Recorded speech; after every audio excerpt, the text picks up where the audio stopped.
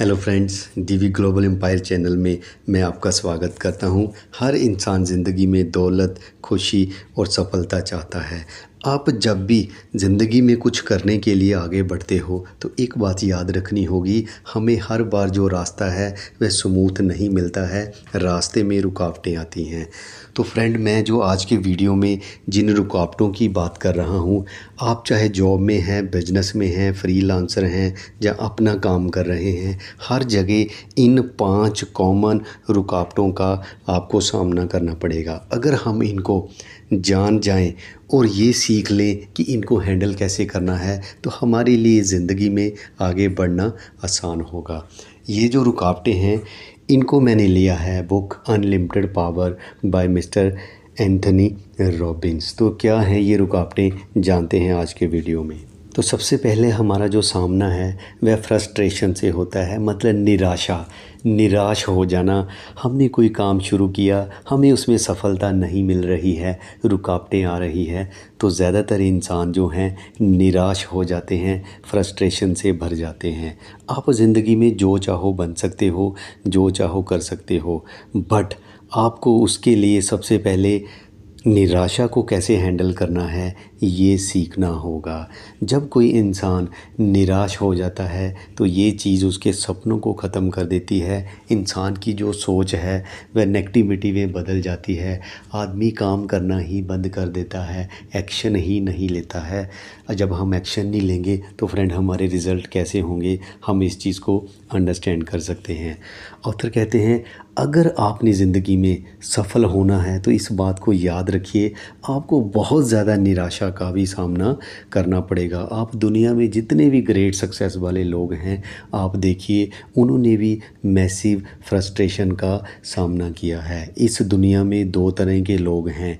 एक वह हैं जो निराशा को हैंडल कर लेते हैं और दूसरे वे हैं जो चाहते हैं कि काश हमें भी ये हैंडल करना आ जाए।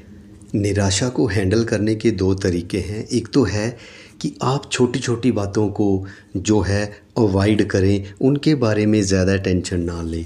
सेकेंडली आप ये याद रखिए कि ये एक पार्ट है हमारी सफलता का। हमें इसको क्रॉस करके जाना होगा। जितने भी सक्सेसफुल लोग होते हैं, उनको पता है, निराशा की दूसरी तरफ़ जो है, हमारी सफलता छुपी हुई है। बट अनफॉर्चुनेटली होता क्या है? बहुत सारे जो लोग हैं, निराशा की दूसरी साइड तक पहुँच ही नहीं पाते हैं। बहुत सारे लोग जो हैं, ज़िंदगी में जो अपने गोल को अचीव नहीं कर पाते हैं, उनका एक मेन कारण होता है कि उनकी जो निराशा है, वह उनको रोकती है।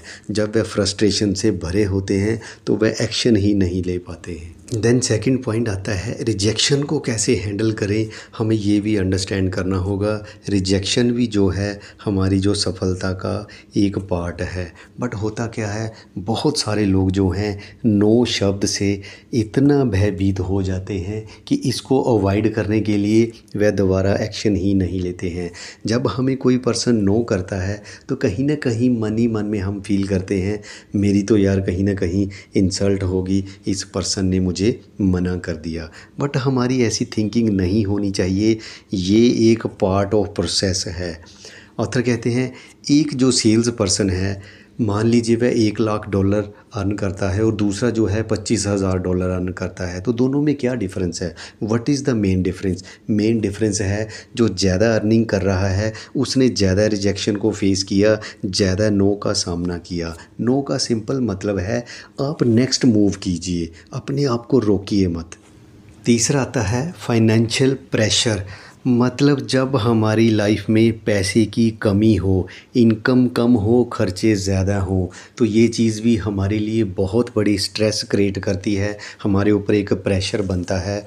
इसकी कमी के चलते दोस्तों, जब हमारी इनकम कम होती है तो बहुत सारे लोगों की पर्सनल और प्रोफेशनल लाइफ जो है, वह पूरी तरह स्पॉइल हो जाती है। इवन हमारे रिलेशन भी ख़राब हो जाते हैं। तो यहाँ पर हमें मेन मैसेज है कि हमने अपनी अर्निंग एबिलिटी को बढ़ाना है।